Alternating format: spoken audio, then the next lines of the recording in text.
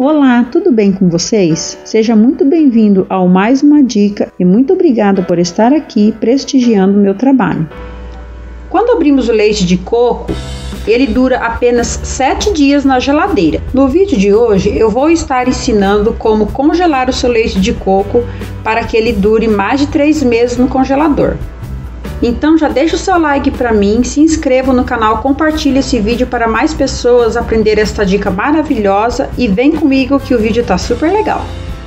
Mas antes, me conta se você já assistiu o vídeo de sopa de caldinho de feijão, muito gostoso e delicioso para este friozinho.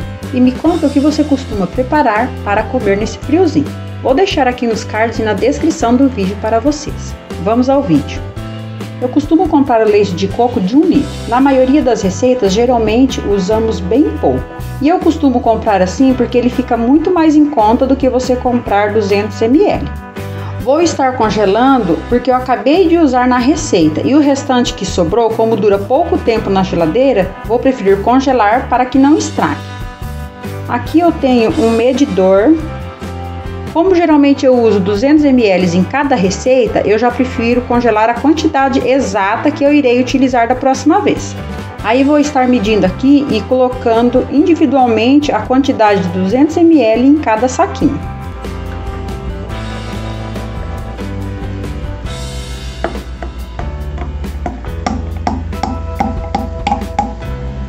Agora vamos pegar um saquinho e colocar esta quantidade toda aqui.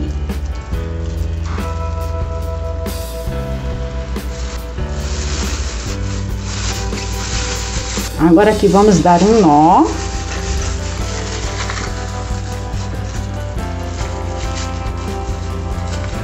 Aqui está prontinho para ir para o congelador. É muito interessante a gente estar dividindo as quantidades a ser congelada porque quando tiramos do congelador e descongelamos, é bom usar aquilo que foi descongelado. Não é interessante voltar para o congelador. Então, por isso que é interessante dividir as porções assim. Vamos colocar o próximo.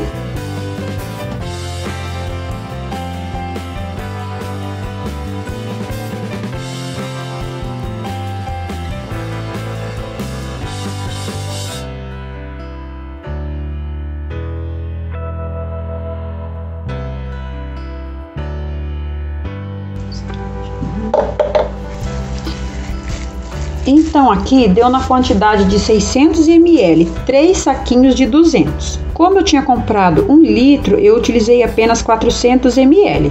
Então esse restante aqui vou estar congelando e congelado ele dura mais de 3 meses no congelador. É muito bacana essa dica, muito bom, assim você não vai perder o seu leite de coco. Quando eu for utilizar, eu vou tirar apenas um saquinho para a única receita, que geralmente eu uso o saquinho de 200 ml para cada receita.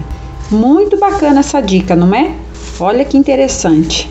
Se o vídeo te ajudou, deixe seu like, se inscreva no canal, compartilhe o vídeo para ajudar o canal. Muito obrigado por assistir e até o próximo vídeo.